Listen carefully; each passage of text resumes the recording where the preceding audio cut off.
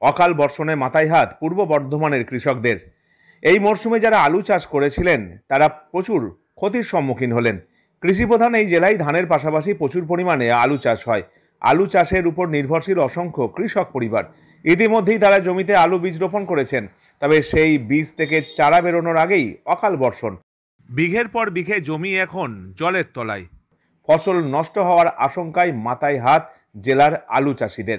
Apple এত বিপুল পরিমাণ জমির আলু যদি নষ্ট হয়, সেক্ষেত্রে আলু উৎপাদনে ঘাটতি হওয়ার আশঙ্কাও রয়েছে। প্রতি বিঘায় আলু চাষ করতে খরচ হয় চল্লিশ হাজার টাকা বলে জানাচ্ছেন কৃষকরা।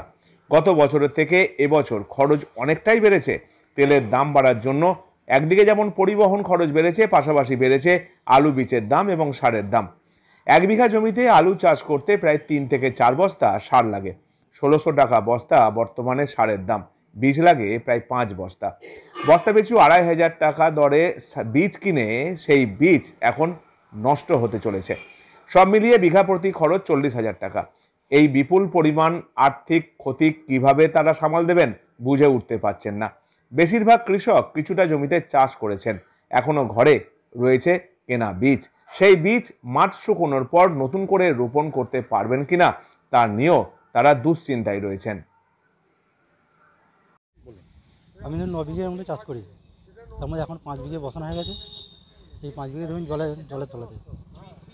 এটা এখন আর কিছু হবে না, এবার নতুন করে বসানোর চিন্তা ভাবনা করতে হবে। এর থেকে আর ধরুন কিছু পাওয়া যাবে না। টাইম মধ্যে ফলন কম হবে। এখন তারপরে তো গরম পড়ে যাবে না।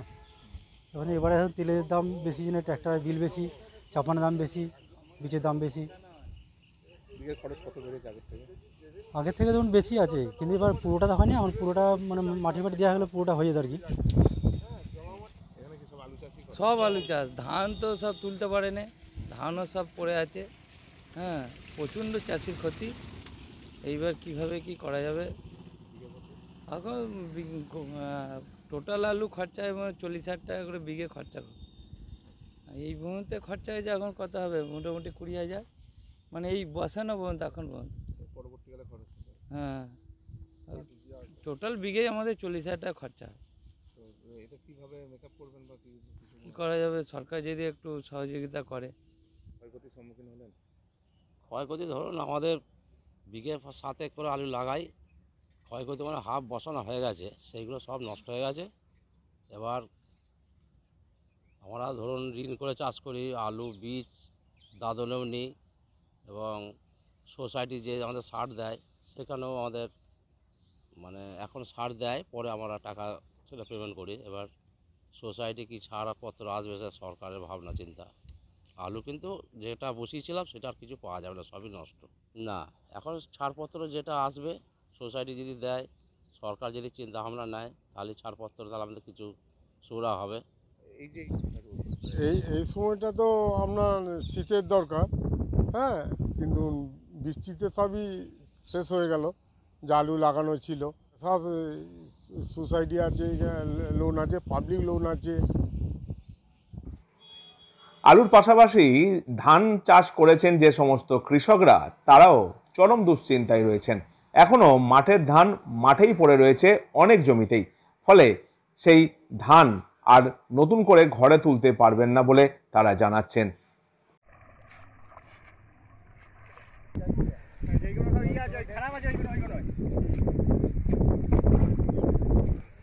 এটা কাদা দিয়ে আসছিল আলে।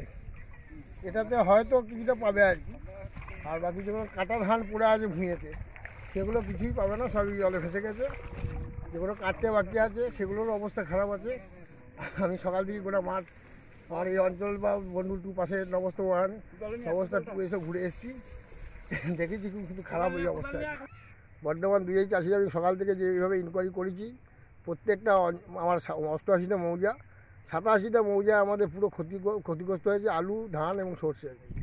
এতে ভাবনা চিন্তা শস্য বিমা যাতে করা আছে, আমার দশ হাজার চুরানব্বই জনের শস্য বিমা আমি অলরেডি করা আছে। শস্য বিমার টাকা শস্য বিমা থেকে যেভাবে ক্ষতিপূরণ দেবে, সেইভাবে সরকার পাবে। আর এই ক্ষতিপূরণ নিম্নচাপের জন্য আমাদের মাননীয় মুখ্যমন্ত্রী চিন্তাভাবনা করছে, উনি তো চাষিদের পাশেই থাকেন, চাষিদের কথা ভেবে উনি নিশ্চয়ই কোনো চিন্তাভাবনা করবেন কি পরিস্থিতি? আগে প্রথমে তো পোকায় শেষ করে দিয়েছিল হ্যাঁ এখন আবার এই জলেতে আর কিচ্ছু নেই। ক্ষতিপূরণ আমরা তো শস্য বিমা করেছি, দেখা যাক সরকার থেকে যদি কিছু দেয়। হ্যাঁ কিন্তু ক্ষতি সরকার থেকে কতটুকুই বা দেবে? যা ক্ষতি হয়েছে এত দেওয়া সম্ভব নয় আমার মনে হয়। বেশিরভাগ কৃষকই সমবায় বা বিভিন্ন সংস্থা থেকে ঋণ নিয়ে চাষ করেছেন। তাই এই সমস্যা থেকে তারা কীভাবে মুক্তি পাবেন বুঝে উঠতে পারছেন না। তারা তাকিয়ে রয়েছেন সরকারি সাহায্যের দিকেই। Bureau report, Bardhaman news live.